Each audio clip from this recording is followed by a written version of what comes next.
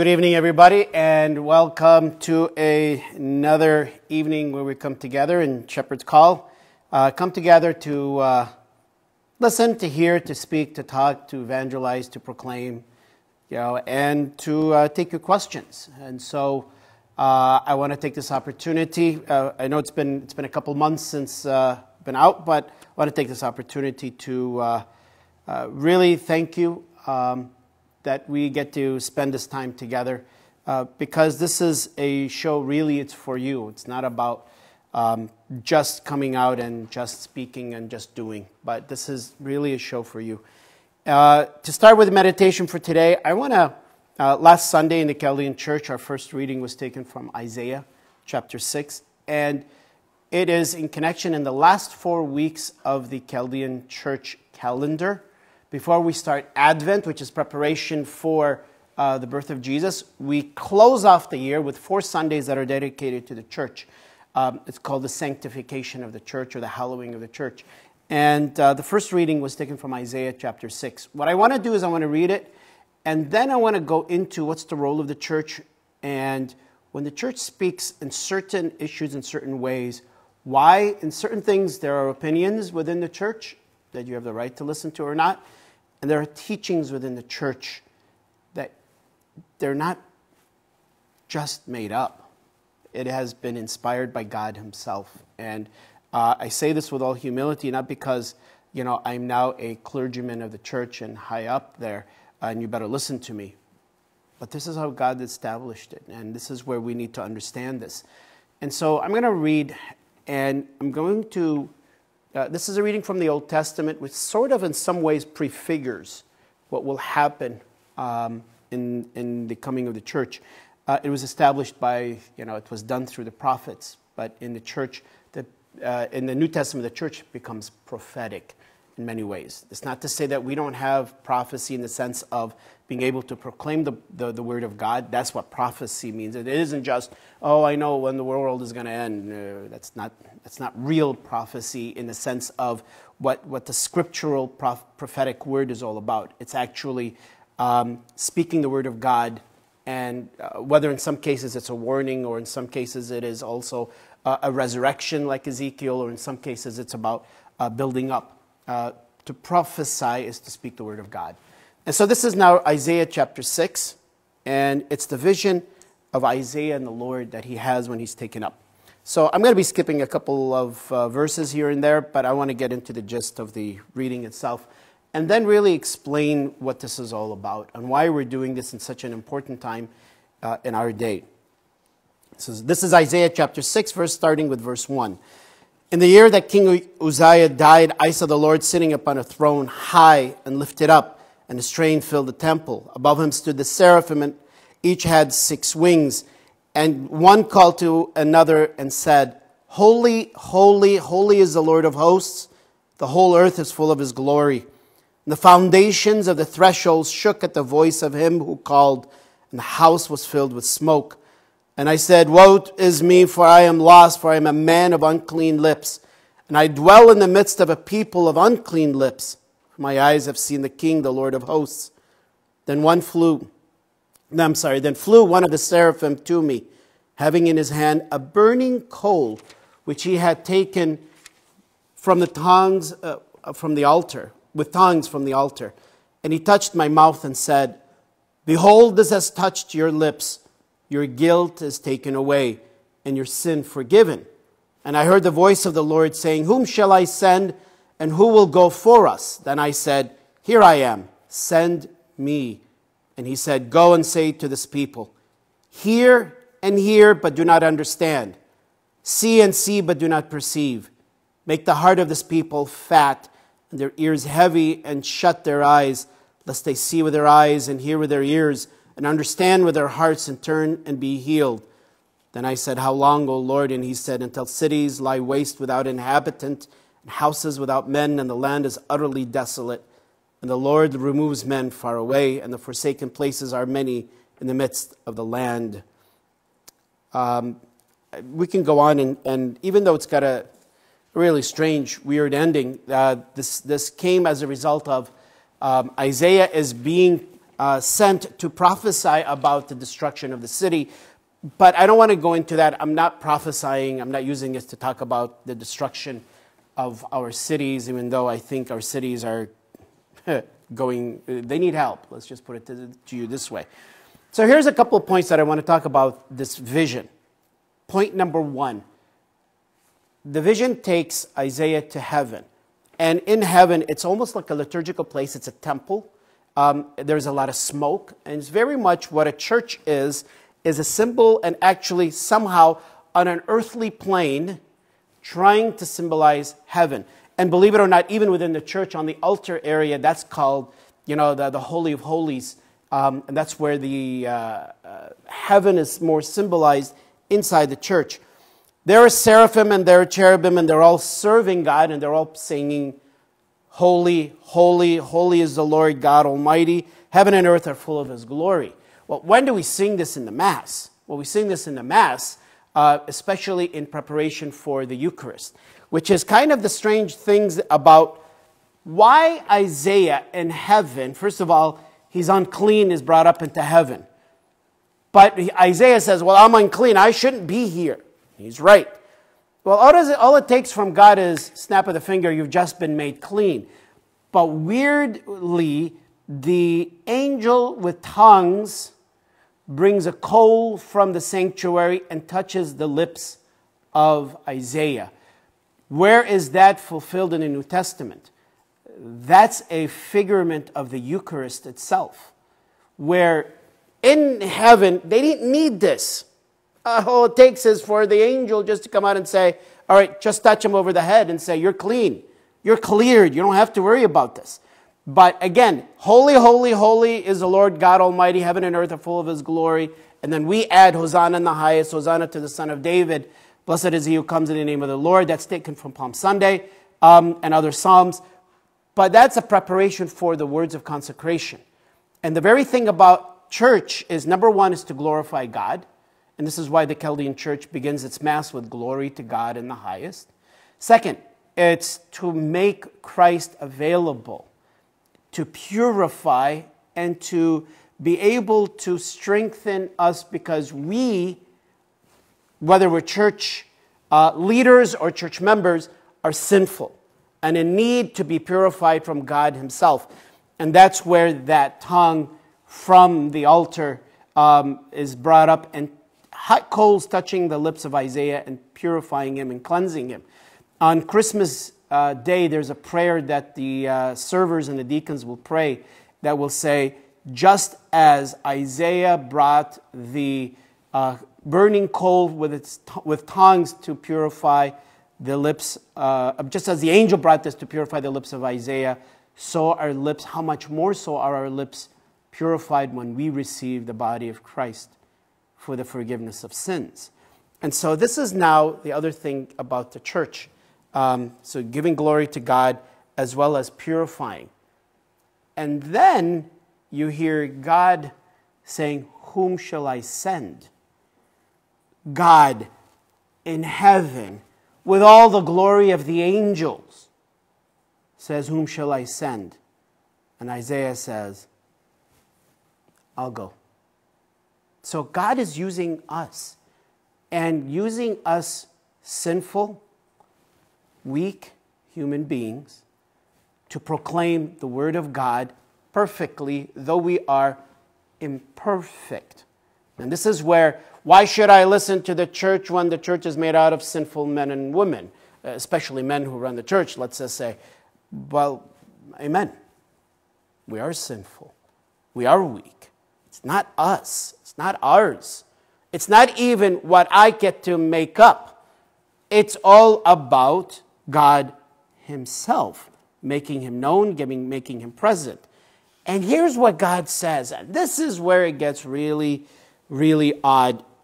And I heard the voice of the Lord saying, Whom shall I send? And who will go for us? Then I said, Here I am, send me. And he says, Go and say to this people, Hear and hear, but don't understand see and see, but you can't perceive, or else your heart, uh, your heart will be filled with fat. Here's uh, will become fat and whatever. Here's the interesting point. God is saying, I want you to look with your eyes and see uh, what is reality. I want you to hear with your ears and hear what is reality, especially that which is coming from above. But when we reject God, we reject truth. And when you reject truth, you reject reality. And here's where the church needs to step in and speak to you. Next Tuesday is election night. Are we going to tell you who to vote for? As a person, I wish I could, but it's very strongly suggested that we don't. But you need to see who the candidates are. You need to hear what they're all about. Now, put candidates to the side, we have propositions. Proposition 3. What is Proposition 3 all about? On the surface, Proposition 3 has two basic sections. If you read it, uh, but you need to have the eyes and the ears of a lawyer. Number one, uh, here's what Proposition says, and this is why the church is speaking out. The Catholic Church is speaking out. Number one, abortion is non negotiable. It is evil, it is wrong, and for those who have committed abortion, you need to confess because you need to be healed of an evil that you have done. Um, God's mercy is great. God wants to heal you, God wants to love you. But here's a problem with Proposition 3 it is, of course, being touted as well, this is now bringing back the right to abortion for women. Is it? Uh, yes or no. It isn't just about that. Read the proposition. When lawyers read this proposition, they recognize that when it comes to law and propositions, you have to have details. If you don't have details, then you have a wide range. And so, lawyers, when they write something, they have something specific in mind. There are very uh, few guidelines or limitations. Number one, this is touted as women's rights. Number one, it's not. But here's, let's get, even if you're for abortion, and, abortion is a non negotiable. Pope Francis said this, I didn't say this. Um, but the church has been teaching it for 2,000 years. Christianity has been teaching it. And any Christian who teaches otherwise is not a Christian. You're a liar. And I'll say it again you're a liar. You're using Jesus' words against Jesus. Because Jesus does not teach, and the church is very clear about this. And Christianity is very clear about this from day one. And so you have, and I don't want to mention names, some so called Catholic um, politicians who said that the church taught abortion. No, they didn't. And when you speak on behalf of Jesus Christ in a false way to bring about your own narrative, uh, then you're committing sacrilege and you're not, you're not Christian. Anyways, put that to the side. Let's get a little bit more details. Prop three. This is why the church is saying I'm going to speak on behalf of not only the church, but God Himself is deeming this evil and demonic. Here's the proof. Number one, does it make abortion legal? Yes. Is it just abortion? Here's the thing the, the wording behind it is that um, anyone from the uh, healthcare, any healthcare quote unquote professional has the right to do an abortion. What does that mean? It, it, doesn't, it doesn't limit. And at any time when it's deemed necessary for the health of the mother. That means that if she is nine months and getting ready to give birth, and she deems that she no longer, for psychological health reasons. It doesn't take much. Oh, I don't want this baby. Done. That she doesn't want this baby. then what they will do is they will breach this baby. You know what breaching is? Is when you take the baby and you pull out the legs. Then what do you do is you sever the neck, you vacuum the brain, and then you pull out the baby dead. I'm not making this up. Please look it up. It's called partial birth abortion. That's a reality with this bill. Point number, I forgot what number we're at. Two, three. Uh, any health professional. That means if you're a pharmacist and never done an abortion before, you can do an abortion. You can perform an abortion according to this proposition. Don't take my word for it. Read it. And if there are no guidelines, that means any professional in the health field. Next point if that professional in the health field screwed up and didn't do the right thing, didn't do it the right way, and the baby is born, or the mother dies, the proposition also says you can't go after the person who committed the abortion. My words. It's, it's hidden within the bill itself.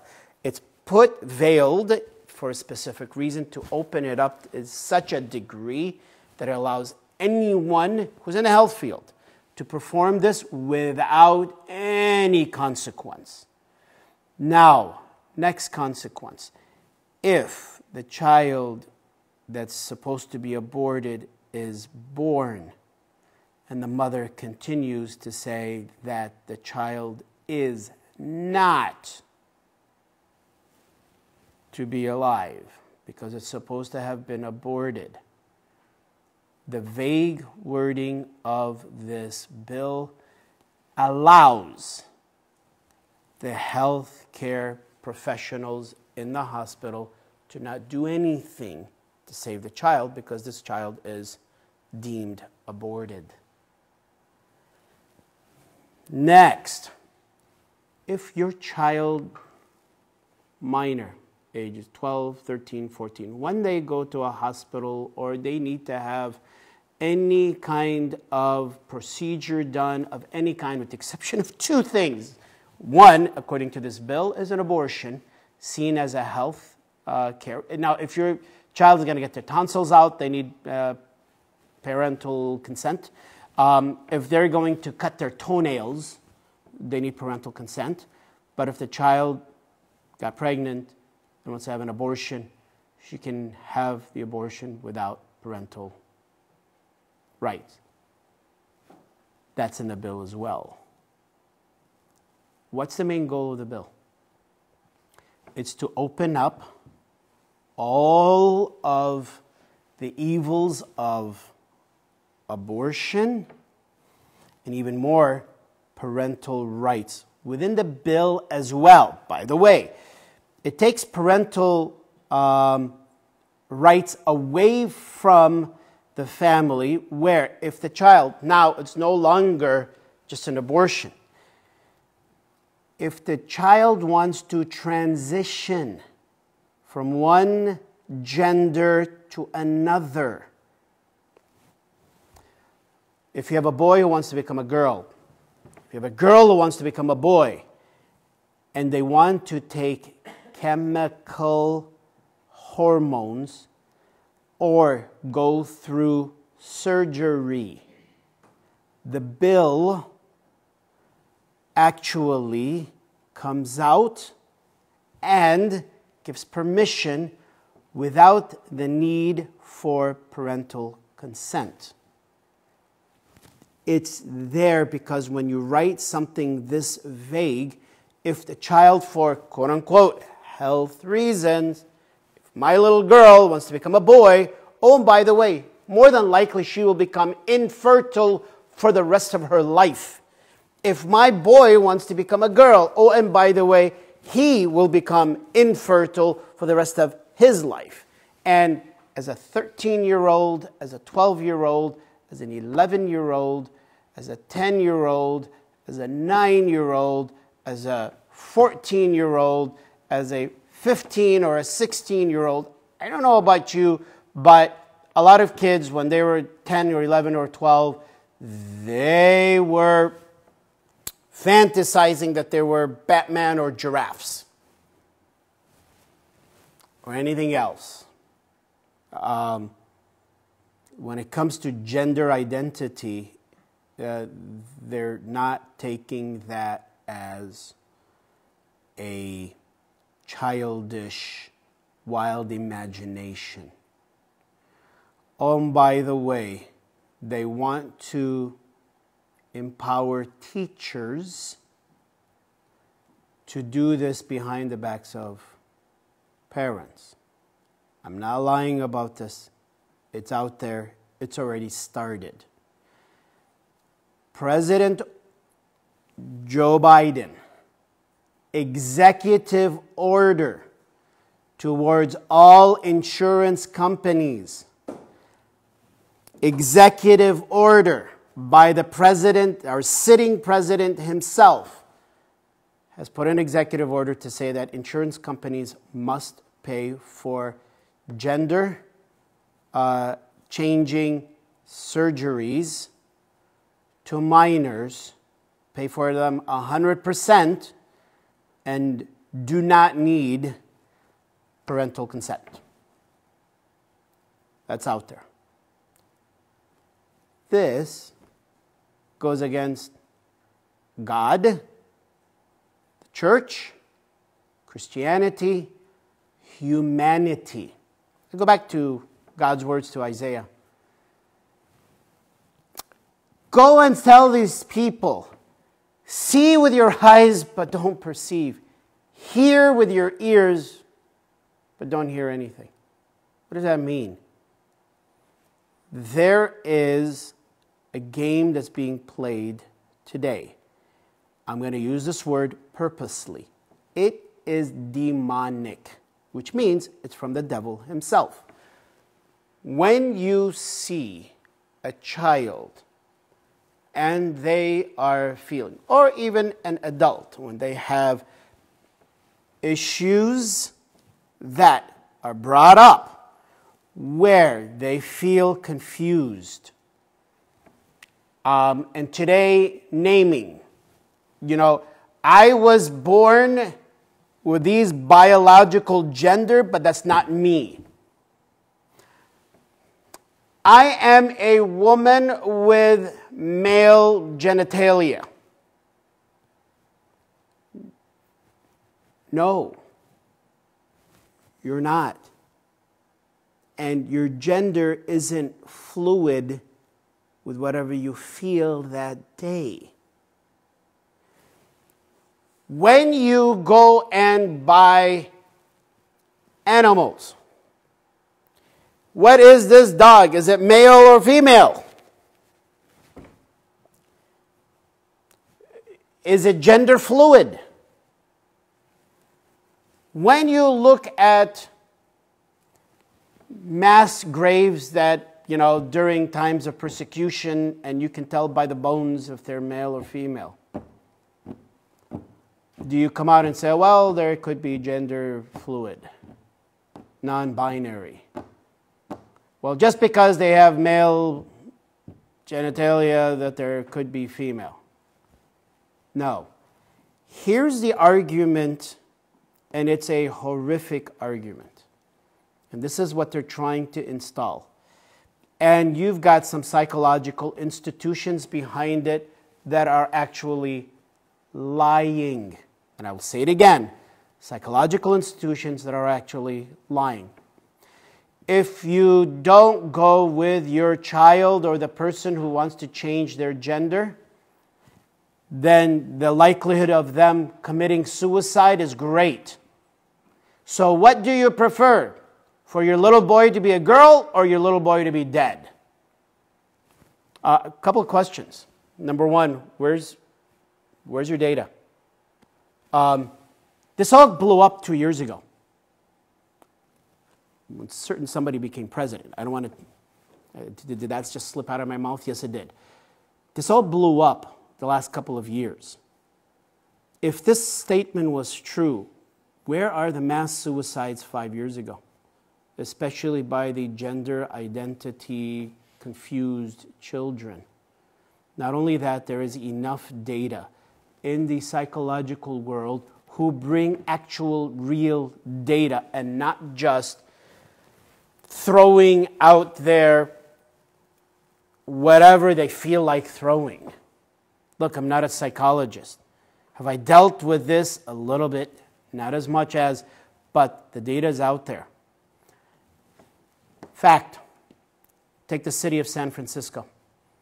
The city of San Francisco, before the blowing up of the homosexual community there, and after the blowing up of the homosexual community there being legal, being in your face, they have parades.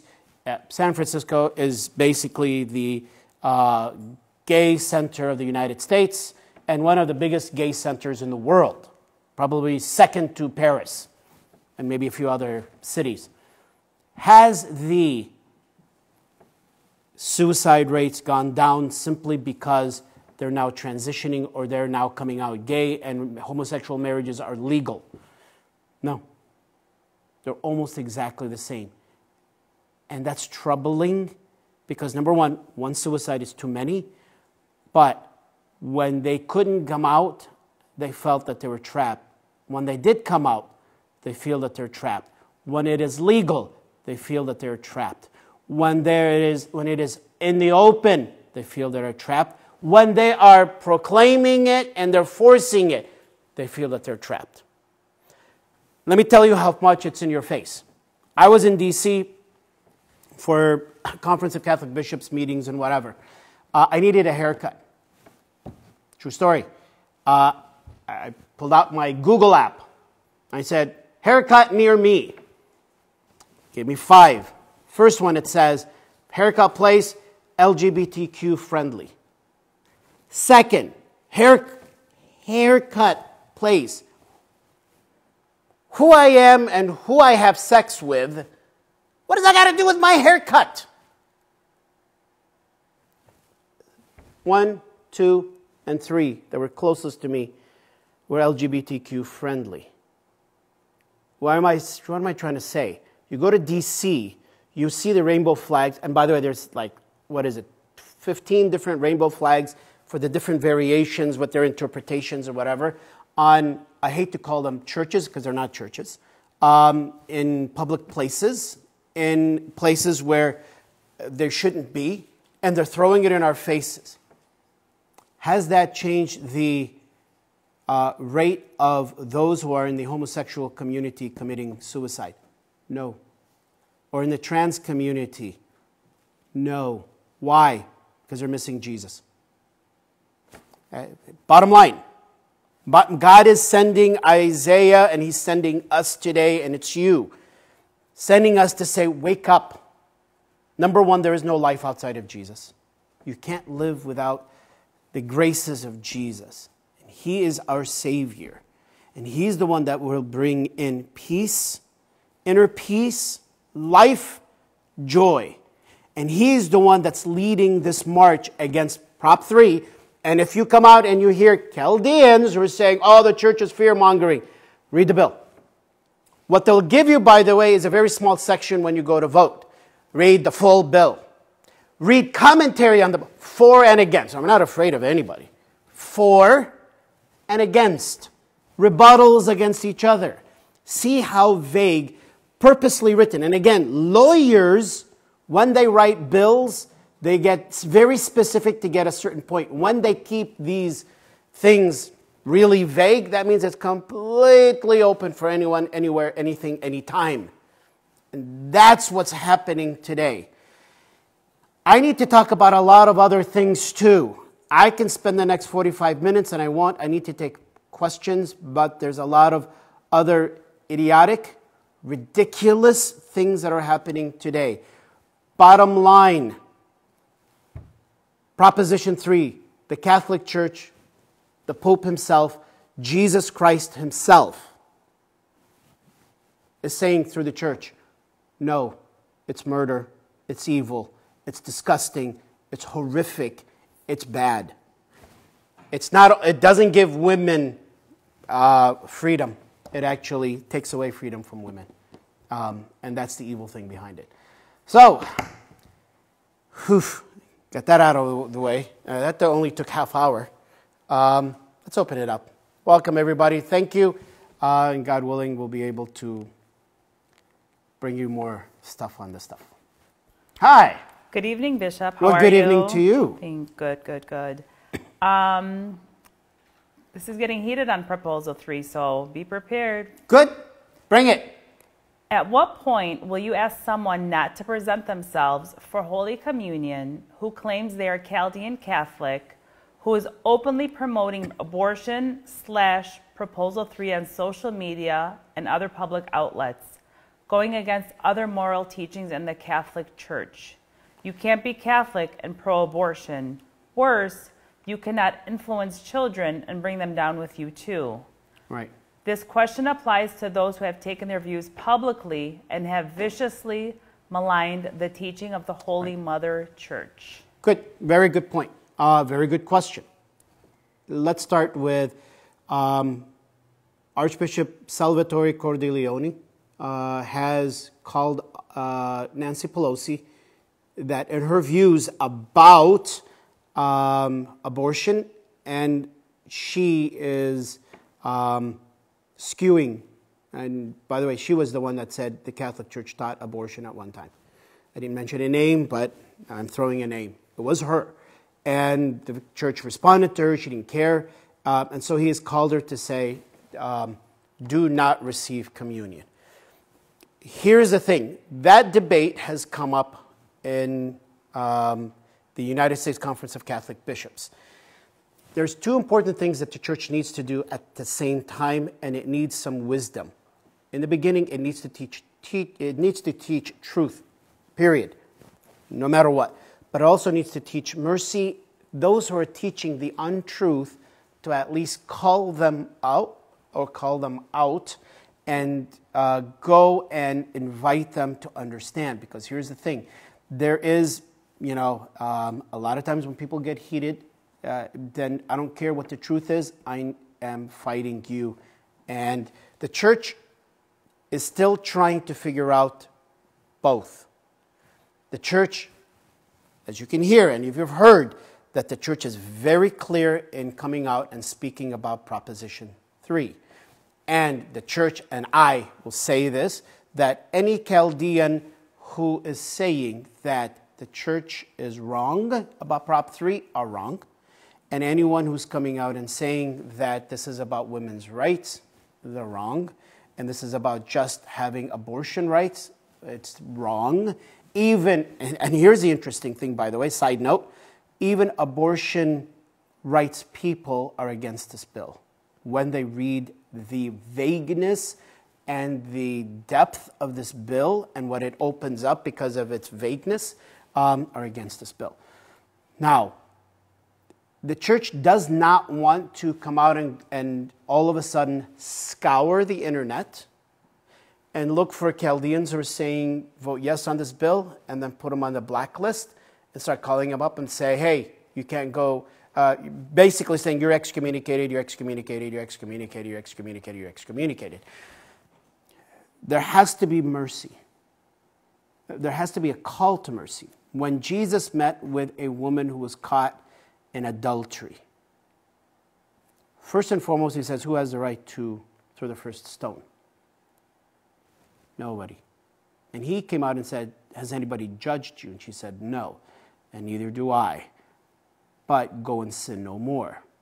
So now it becomes the question of where is mercy and where is truth? You need both.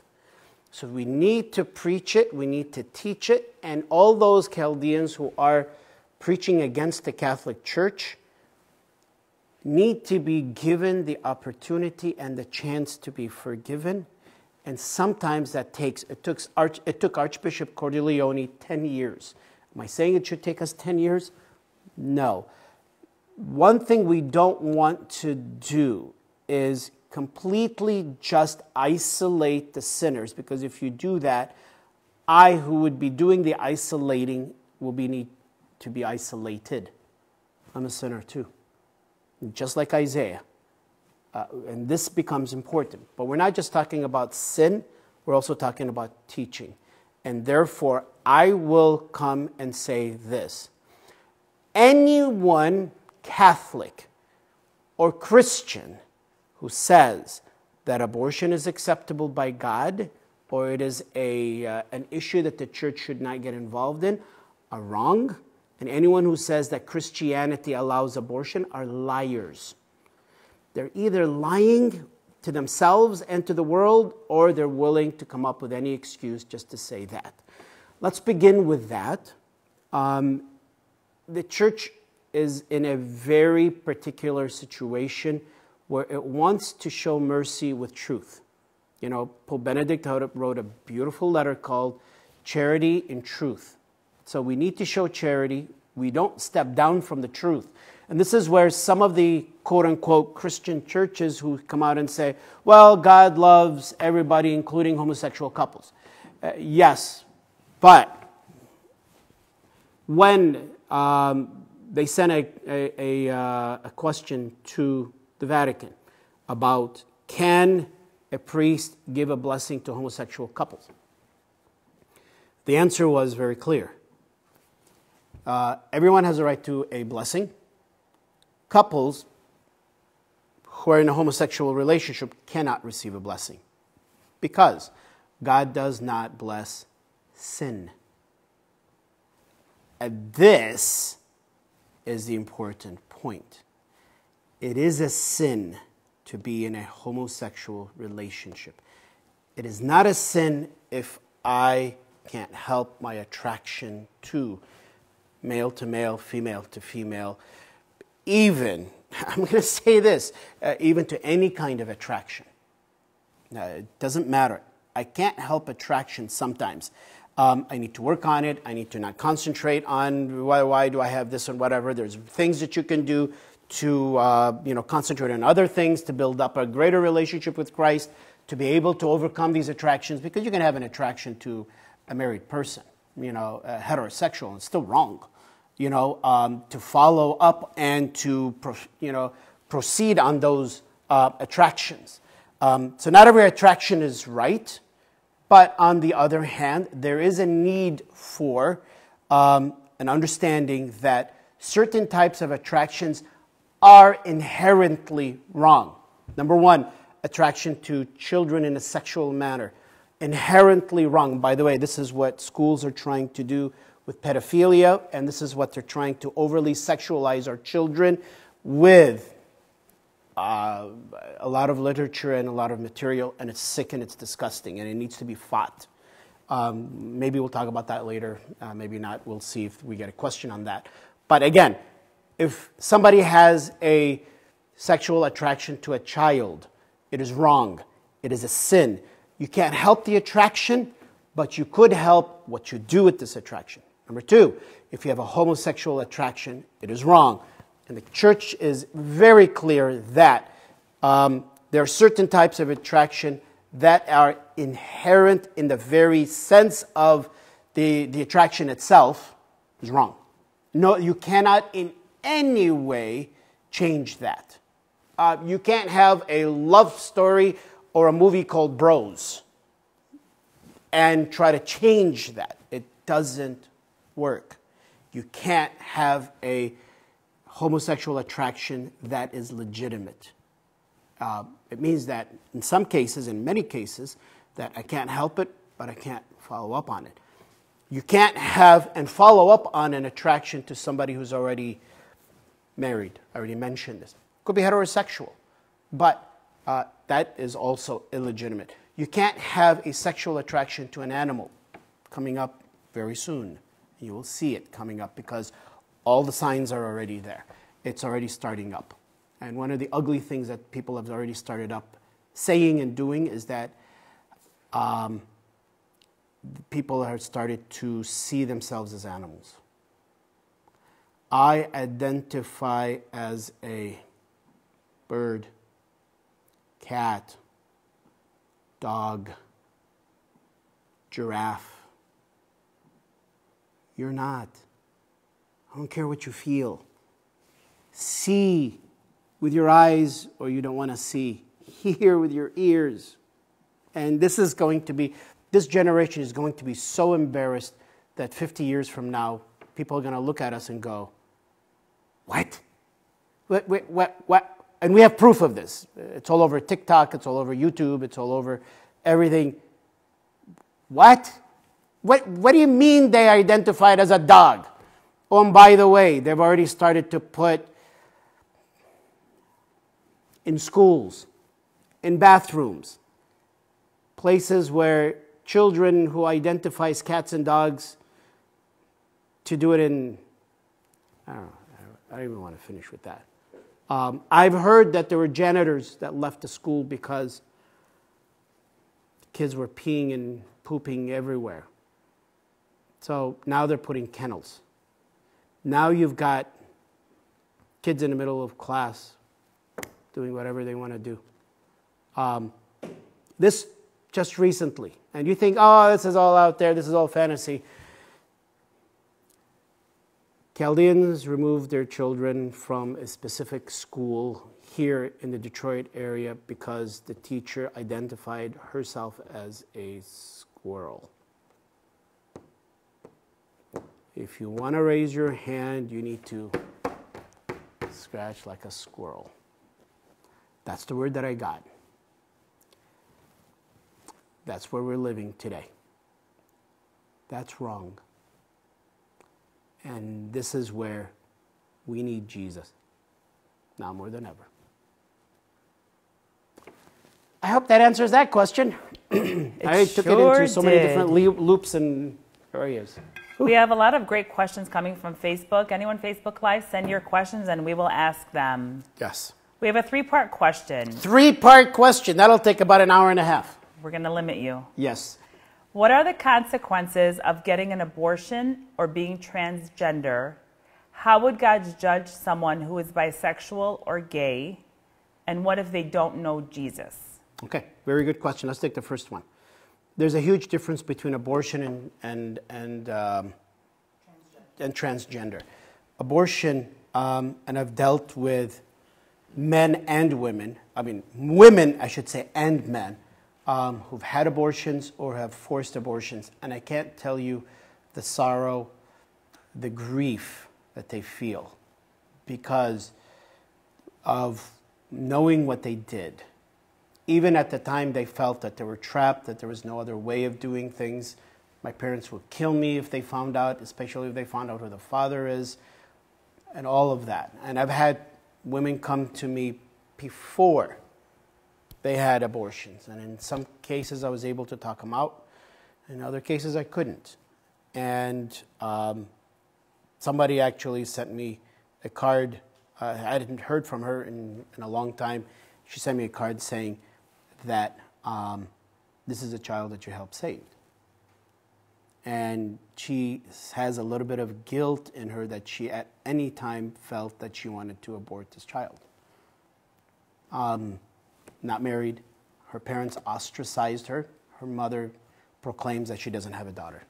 And so this woman who made a mistake but corrected her mistake um, is living in a different state. And she's brave. Absolutely brave. Um, she does not have the guilt of an abortion. So, abortion, what it does is it kills your soul. Um, if you don't get on it, God looks at every sinful person the same way. I love you. I want to heal you. Don't let this kill you. What the devil wants is when you feel that you're trapped and you have no other way of doing anything, you have to have an abortion. That's the devil's way of having it. And then, for some, in some cases, I have had, oh, I feel relieved. I don't have to worry about this. My parents don't need to know. I learned my lesson, whatever, whatever, whatever. But then it creeps in. Um, depression in many cases, by the way, comes in. By the way, other health problems, um, especially with women, breast cancer goes up, I think, what is it, 46%? Higher rate of breast cancer for women who've had abortions, um, if I remember the, the, the numbers correctly. Um, other types of health issues that come in, put all those to the side psychological issues, depression, in some cases, suicide because of the abortion, not just because they were just simply uh, depressed beforehand or whatever. Um, as I said, before an abortion, God says, please don't. You're going to hurt yourself and you're going to hurt another life. I just read this, by the way. I, I thought this was marvelous. We have the technology today to perform surgeries on infants in the womb. And somebody made this statement. I thought this was brilliant. I never thought about this. Um, they have to give um, pain killing medication to the uh, infant in the womb in order to do the surgery. Why? Because the infant will feel everything. Now, put in a foreign object that is out to kill it. Saline, it's poison. Vacuum, you vacuum the arms and the legs and then the head and then whatever. The child feels it all from the very beginning. There are actually x rays of a child that's there. We're taking an x ray of a woman having an abortion and how the child is fighting it. It's ridiculously disgusting. The child feels it. And the mother, who is um, mystically, um, religiously, I don't know, uh, spiritually connected with this child, um, will feel it someday. That's different than trans. Uh, trans, you're basically lying to yourself. I, and they're uh, men who make themselves look like women, they look absolutely like women, 100%. I mean, that's how good we can do things today. Are they women? No. Their body structure doesn't say they are. They will never be able to have children, even if they do. And I actually read this of recent times. There was a medical uh, doctor who said, you know, a man who has transitioned into woman, well, what, one day science will be able to allow us to have children. And this medical, uh, this lady in the medical field came out and said, your bones are not able to, they're not the bones of a woman. And if you do, you will actually break your hip bones, your this bones and those bones. And she went through all of this and you will basically bleed to death and die. You will not be able to have a child because God did not create you physically to be able to have a child. You male, you man. And so, somebody who's living with that, um, in some cases, and we do know about those who've gone through transition surgeries and regretted it, uh, many times have regretted it. Um, the regret is on a different plane. Um, and uh, again, God looks and overlooks upon everybody with sympathy, with love, but with truth as well. Um, God wills that all be saved. That includes those who have had abortion. That includes all those uh, who have transitioned. That includes all those who are pushing for Prop 3. God wills that they be saved as well. But God's not going to force it. And that's important to recognize and to understand. That's question number one. What was question? What part one? What was part two again? I'll try to be brief with the other. Part two was how would God judge someone who is bisexual or gay? What if So- they don't know Jesus? So, so here's the thing um, God made me this way. I want to go into that. No, He didn't. But there are things in this world that are disordered. Like I might have a disordered liking for a child and I want to have sexual relations with a child. If that is true, that's not from God. Um, so there, is, there are disorders. There's also physical as well as psychological as well as spiritual disorders. Uh, God views you as He views any and every child. He looks at Mother Teresa with love, and He looks at the gay uh, person who's got gay homosexual tendencies, whether they act on it or not, with love. But God wants to lead, God wants to guide, God wants to change, God wants to fix. Uh, God will not bless. Uh, It's not my words. Pope Francis said this. God will not bless your homosexual marriage. Unacceptable. But God wants to bless you who happens to be in a homosexual marriage and wants to bless you out of it. And that's the important thing. Part three. No more parts in that question. Oh, there was one, two, and three. Three was if what if they don't know God? Oh, what if they, oh, there you go. What if they don't know God? God knows them. God will still go after them. God will still want to work with their conscience. God will, uh, God will still want to lead them and guide them. God will love them. And what we read in Romans 1 and Romans 2, basically, Romans 1 is that the way God created the world, He reveals His love and His beauty throughout the world. And God wants to tell them that there's something greater. So, this is where in the church teaching, there's something that's called natural law. Natural law is uh, a law that goes beyond uh, any religion. Thou shalt not kill. Well, you don't need to be Christian to know thou shalt not kill. You know, you shall not steal your, you know, someone else's spouse. You know, you shall not steal. You know, you shall not disrespect somebody else or, you know, you should not. These are things that are natural, part of the natural law. Um, and so God puts the natural law in us to say that I love you. That they understand that there's something greater. Some people worship in a dumb way uh, Mother Nature. Mother Nature is not God. Mother Nature reveals God but she's not God. You know, Mother Nature has a God that she gives praise to, and that's what some of the Psalms would talk about nature giving praise to God. So God will always be running after you because God loves you. Um, but it's time sometimes to stop, to hear, to listen, and to turn towards God and say, Here I am. Bishop, we have a phenomenal question. Oh boy, as if the other ones weren't phenomenal. They were all phenomenal. They're like, this is just flowing perfectly. Thank you, Jesus. Amen. Abortion kills the soul, but so does the community. When a Chaldean woman is not married and makes a mistake, the community casts stones and talks so much about that woman, which is truly unfortunate. Right. Where is the support of the community and the church to stop that gossip and avoid women from aborting and the response to that shame? Beautiful question. Here's, here's the answer. Number one, uh, St. James talks about the tongue. And in the tongue, that you know, everybody has the freedom to say whatever they want to say. The church cannot stop the community from gossiping. It can't.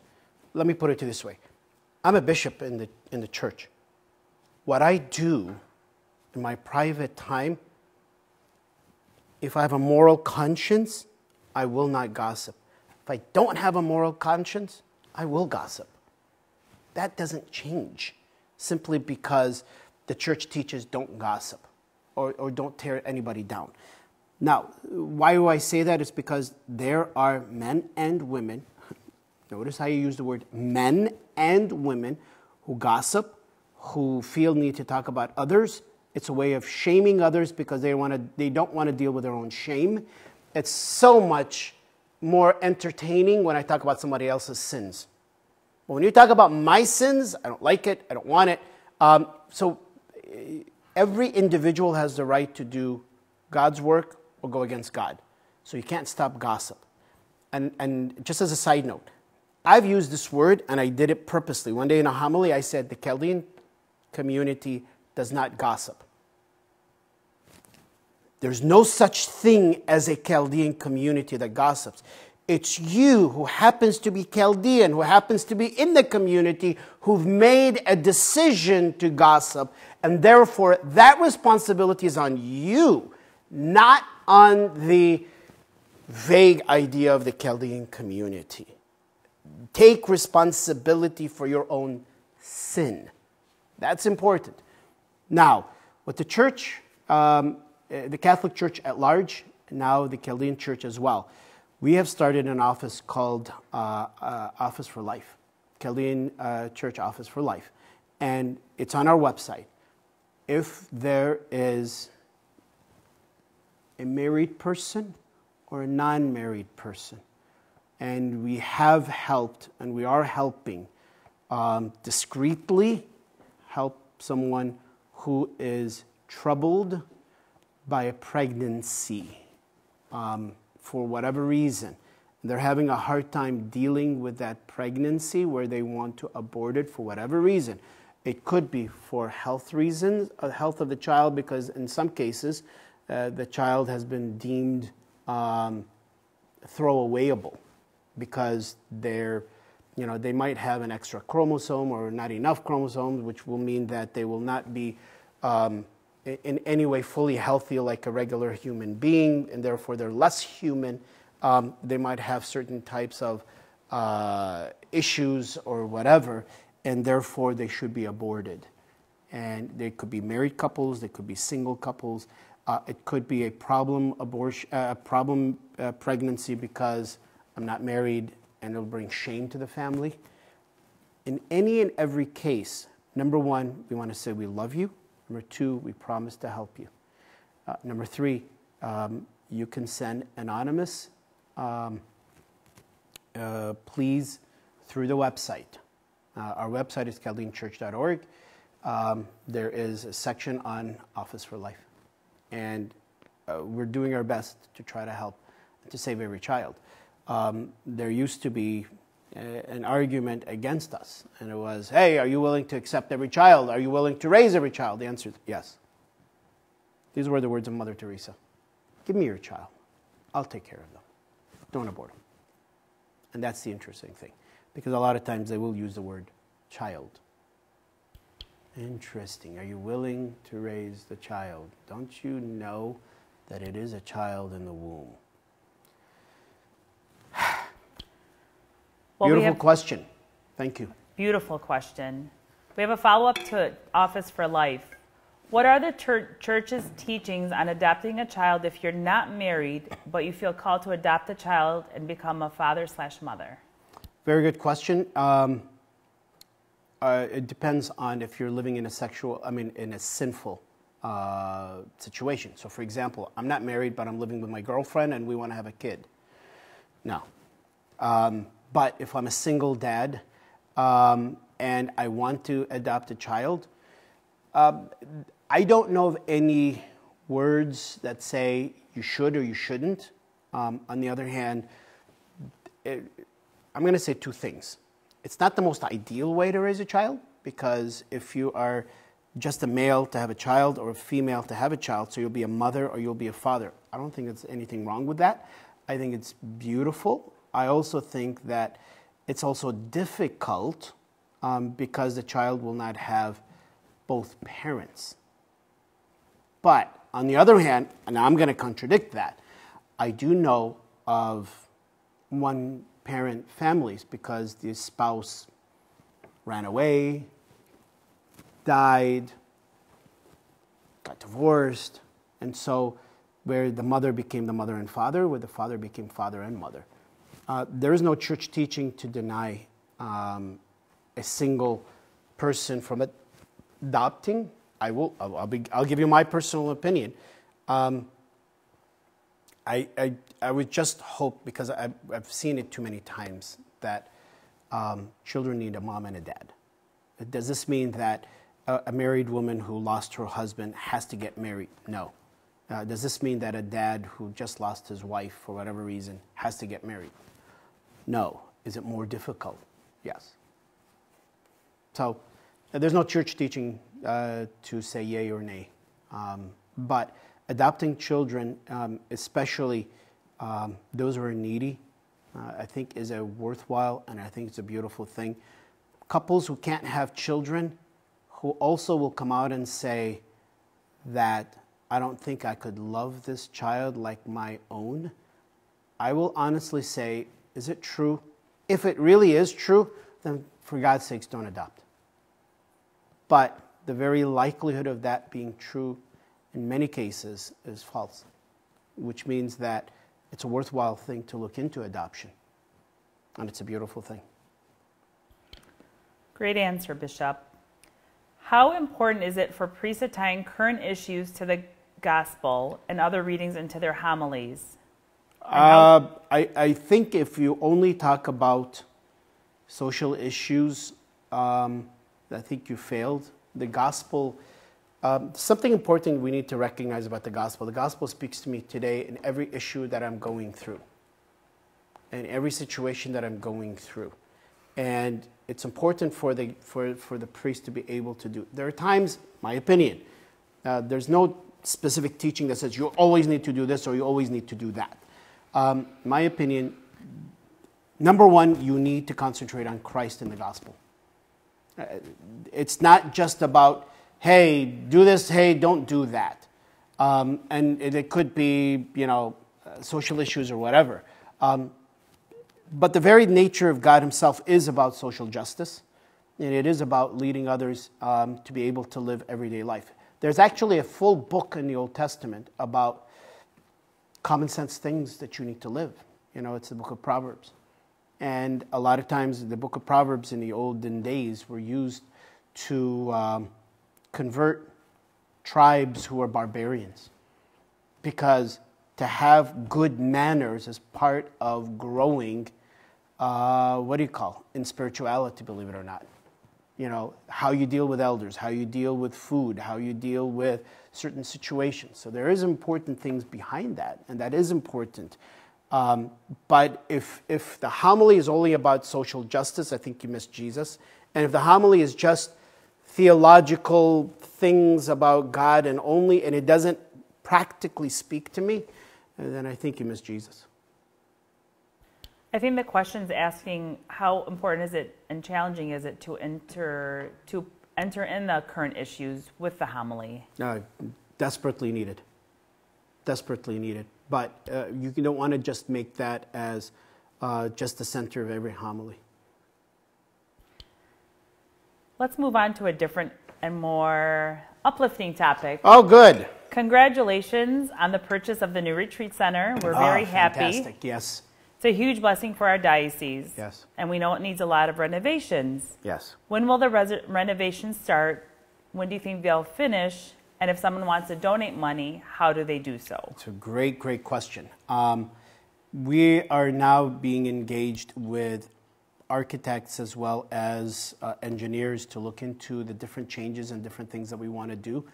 Um, we after we uh, it, it's it's going to take a while for them to come back and to say we found it to we, we need to do A B C and D and it will cost A B C and D after we bid it out and then we will need to sit back and go is A worth it B worth it C worth it and D worth doing or not um, I think it's going to take some time uh, before anything like that happens. Um, in regards to donating, uh, we're always open, we're always in need. Uh, the place is a little bit older. Um, it does need a lot of renovations. It does need some time. Uh, it needs some also some um, uh, tender loving care.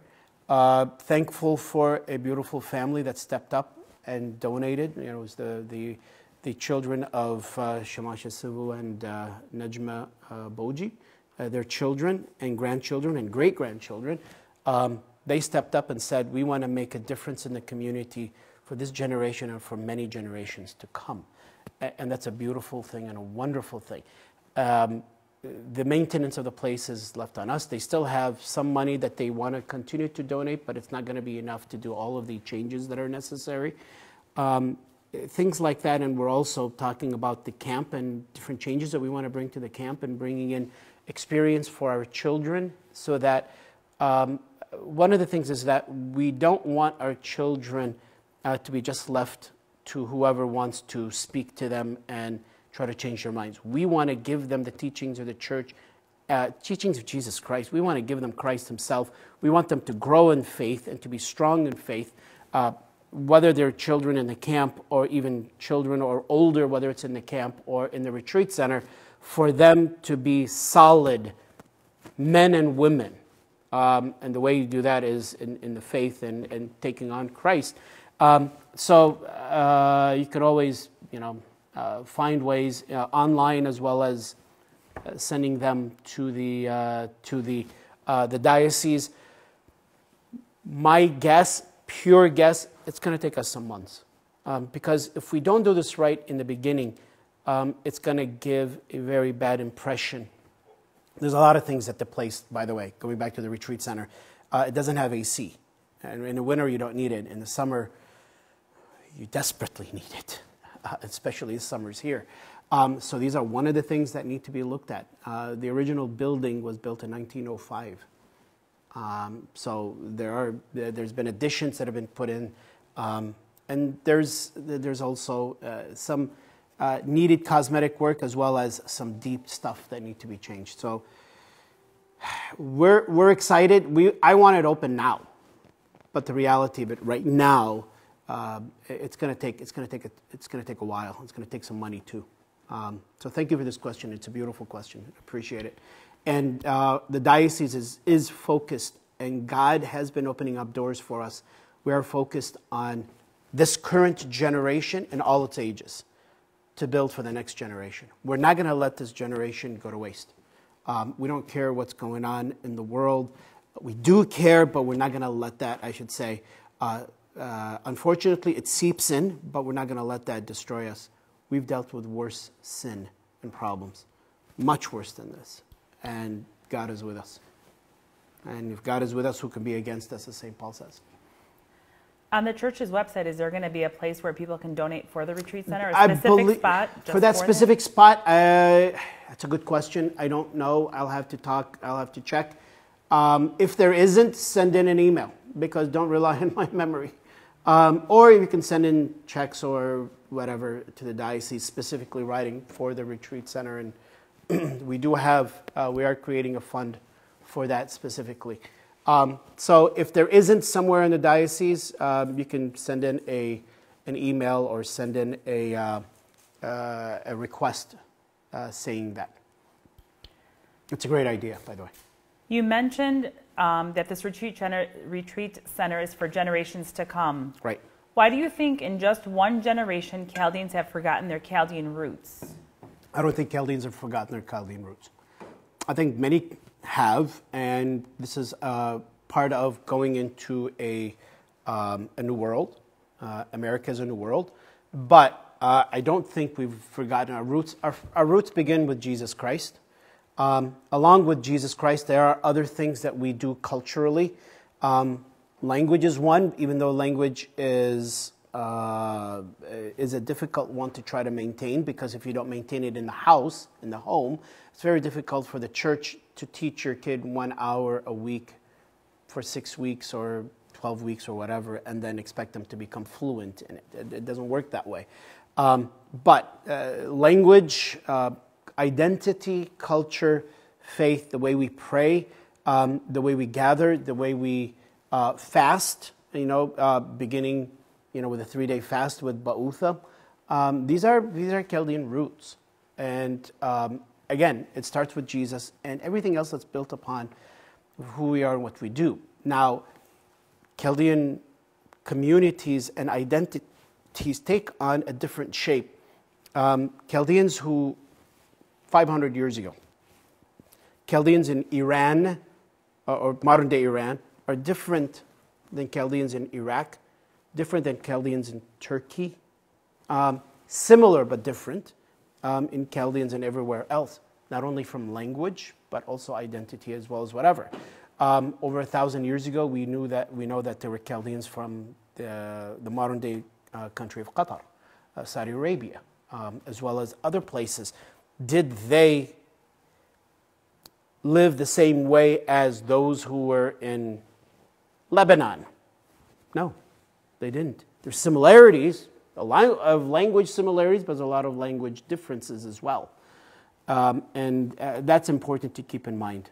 But what we want to do is keep Jesus alive in the Chaldean church, and that will actually strengthen the Chaldean families and to maintain a lot of Chaldean identities and roots.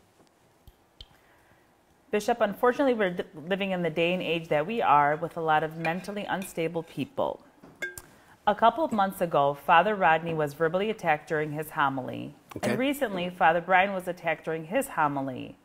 Is the church taking extra precautions for the safety of the church, the priest, and its people, especially when we have ordinations or final vows for the Maserat? Um, more people have become vocal, sure. And um, today I had a clergy meeting. We talked about uh, briefly that we need to look into the safety of different um, parishes and everything like that. Uh, I think that's important. Um, instability, uh, you know, we need to look for whatever we can do. There's only so much we can do. There was no sign uh, that said, that revealed that this person was going to yell out in a homily. There is, I mean, even if you put, let's say, well, I don't know, FBI agents who are looking for people who might step up and speak out. How are they going to know who's going to speak out and who's going to talk? There's certain things that we can't do because it doesn't exist. There are no um, qualifiers to show that if somebody has their hair put up a certain way, that identifies them that they will do certain things. Uh, not necessarily. Uh, and that becomes important to realize there's certain things we can do and there's certain things we cannot do. Um, I, I don't think it's a right thing to, you know, put metal detectors and, you know, frisk everybody that walks into the church and check their handbags and check their back pockets. At least I don't think we need, I don't think we're living in a world that we have that. God forbid if we do, then we will need to change and we will need to adapt. But in the meantime, um, you know, we're trying in, in many different ways. Um, there are those who are um, working and volunteering in the church, and in some cases, we are, especially in high uh, times like you know, like I don't know, Christmas, Easter, and things like that. Is it important to bring in security? Is it also important to bring in those that will help uh, inside the parking lot or inside the church? Sure, absolutely. We have a question um, that someone is really sad about and he wants answered. Sure. I was told by one of the priests that we as lay people were either not allowed or precluded from blessing anyone but our families. This bothered me because I was I try to bless anyone I come across in my daily activities and be a blessing in any way I can. In the CCC 1669, it says it is our baptismal right to bless others. Can you please clarify the church's teachings on this? Look it up and read it for me. Um, I'll give you, before uh, we read 1669 from the CCC, Chaldean, uh, I'm sorry, Catechism of the Catholic Church, um, every baptized person has a right to bless. Uh, if a priest said that, maybe the priest didn't understand what you were saying, or the priest is wrong. Um, we do come from a culture that uh, blessings are limited to priests. That's a cultural thing, that's not a religious thing. It's a cultural thing because, you know, we came out of the village um, 50 years ago, 60 years ago, 70 years ago, that every priest that would walk by, everybody would stand up and everybody would kiss their hands and everybody will, will uh, whatever. Um, that, uh, that's a beautiful cultural thing. I'm not saying that that's a religious. Uh, so sometimes people will answer culturally, and sometimes uh, culture might be wrong. So read it for me. Catechism of the Catholic Church, 1669. Got it? Sacramentals derive from the baptismal priesthood. Every baptized person is called to be a blessing and to be a, and to bless. Hence, lay people may preside at certain blessings. The more a blessing concerns ecclesial and sacramental Ecclesial. life, That's church related. and sacramental life, the more in its administration reserved to ordained ministries slash bishops, Yep. priests, or deacons. Beautiful. So the Catechism of the Catholic Church, the official teaching of the church, identifies two things. Number one, every single person who is baptized is baptized into Jesus Christ, who has received the blessing of Christ and has the right and the responsibility, not just the right, the responsibility to bless other people. So, I, you know, I, I, somebody uh, in your family says, I've got a headache. Put your hands on them and say, God bless you. God heal you. Nothing wrong with that. A perfect stranger that is open to being blessed, bless them. Nothing wrong. But what the Catechism of Catholic Church is saying also, when it, there's a difference between a sacrament and a sacramental. A sacramental is uh, something that does not need a priest to do. Uh, a lot of times, you know, a sacramental could also be using holy water to bless somebody. Uh, it takes a priest to bless the water, at least a deacon to bless the water, but any layperson can use holy water and bless people with it. That's a sacramental. So now, when it becomes much more liturgical or much more official, when it comes close to sacraments, that's when it's only limited to a priest. So, for example, only a priest um, can do confirmation, deacons cannot. Baptism in emergency situations, a, a baptized person and even a non baptized person has the right to do. Uh, but it's extreme situations. Um, confession, only a priest. Marriage, Uh, in the Eastern rites, it's, it's only a priest, even though it's based upon a vow uh, that is given by a man and a woman. So, if a man and a woman who've never been married are stuck in an island, they can proclaim their vows to each other and be married. You know, then they can receive the blessing of the priest later on. There, so there isn't a necessary thing. Um, bishops are the only ones that can ordain priests or deacons. Um, I don't care if you take all the priests in the world and bless somebody, they don't, they don't become priests. And, and that's the way it's been given to us, basically. Um, I have heard of uh, extremes on both sides. One extreme is only the priest has a right to bless. Wrong. The opposite is everybody has a right to bless, including celebrate Mass. And I actually mentioned this in a homily last Sunday. And that is, uh, I, I visited a uh, a, home where there is somebody who, a, a, handicapped son who is unable to come to Mass. And one Sunday I couldn't go and give him communion, and um, because I was asked to, and but I but I made it up. I was able to go the following Sunday, and they said, you know, we had some people over our house, and they said, well, the priest couldn't come, so hey, bring bread. Let's celebrate Mass right now. And I said, what? And she said, I was shocked. I didn't know what to say. She says, Yeah, what does it take? Here, bring bread. And they blessed it and broke it and said, This is my body. That's a sacrilege. Not only that, um, if you look at St. Paul's letter to the Corinthians, when there are abuses of the Eucharist, St. Paul says the abuses go as far as some people are sick and some people are dying. He doesn't come out and say, you know, you're abusing the Eucharist, everybody celebrate your own masses at home. It doesn't work that way. It's, this is now an abuse. And so, one extreme, only the priest, it's wrong. And you heard the official teaching of the Catholic Church, and I brought, I'm glad that you brought that up. And the opposite extreme is everybody can do everything. That's also wrong. I hope this clarifies and I hope this helps. And, and be gentle. Don't go up to the priest and say, I told you, the bishop said this, and, you, should, you know, and here's the video. No, that's, that's, that's not the right way of doing things. Uh, I would say continue blessing, continue doing, continue to follow those guidelines that have been given to you. So, even us as Eucharistic ministers, if someone comes with crossed arms or a little child, we're allowed to bless them?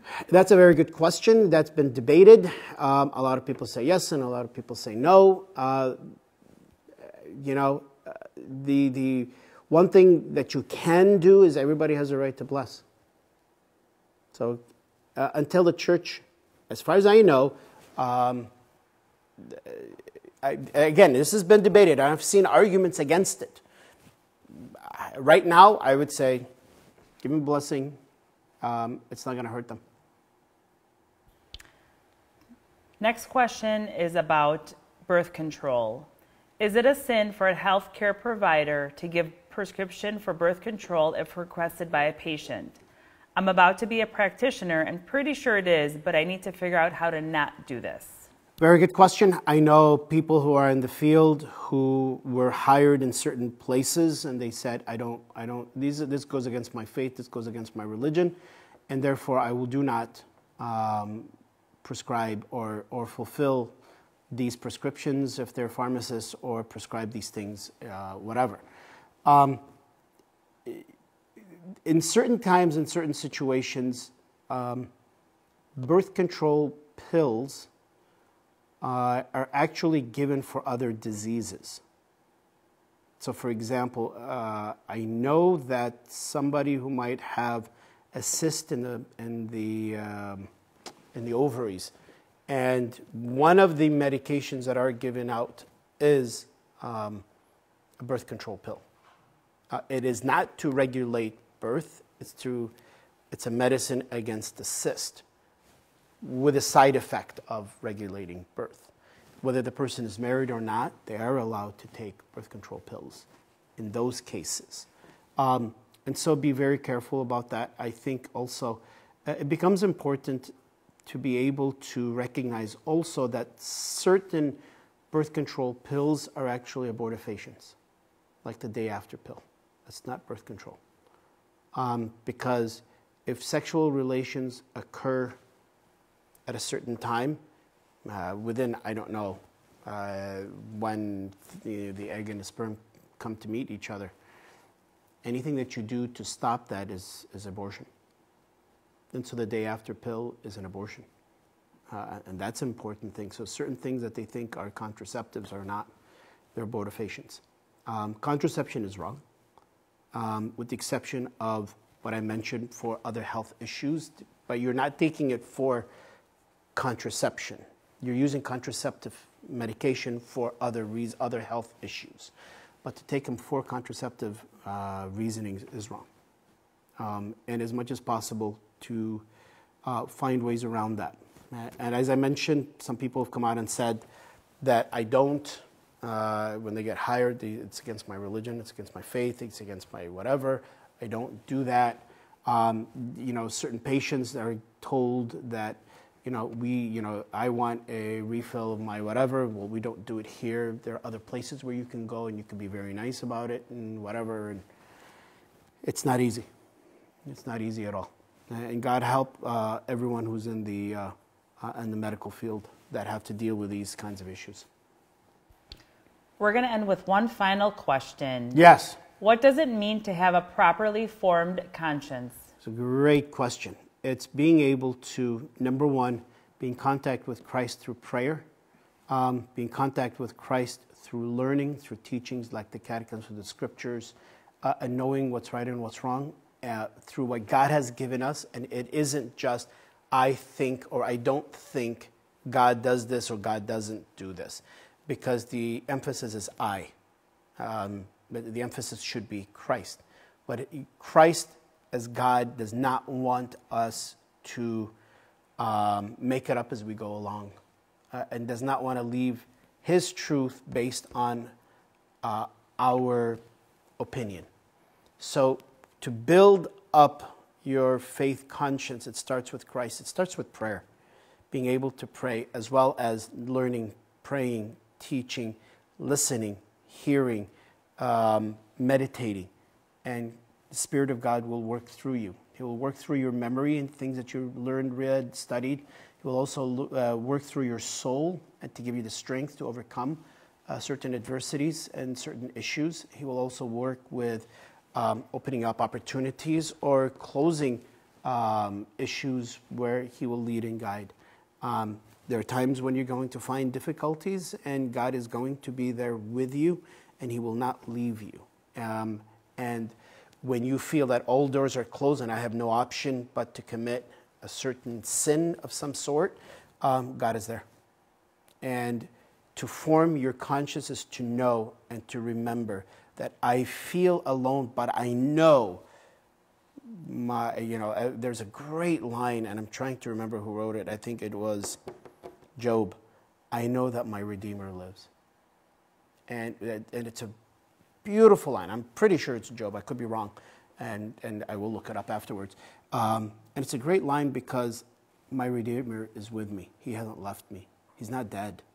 He, he, my Redeemer lives is resurrection presence. He's with me, He's never left me. And having uh, trust and hope with that um, allows you to be um, well formed in your, your life and your faith and, and your understanding. And uh, Jesus will never leave me. Um, and, and I think that becomes important to start with that trust and then to build on that trust. That is in Job 1925. Oh, good. I got it right. You got it right. You passed. Thank you. Bishop, we want to thank you so much for spending this evening with us, taking questions and answering all of them. Thank you for uh, being patient with me, especially in the first half hour. Um, there's a lot of issues that are going on, but you know, we, it's only because Jesus loves you, the church loves you, and we love you. And because of that, we want to live that grace. So let's pray. May the Lord Jesus Christ fill you with his peace, with his grace, with his love, with his joy, and with his presence, that wherever you may be, whatever that you're dealing with, that the Lord Jesus Christ may make his presence felt with you and in you. May Almighty God bless you, the Father, the Son, the Holy Spirit, now and forever. Amen. Vote no on proposal three. And know who's running for.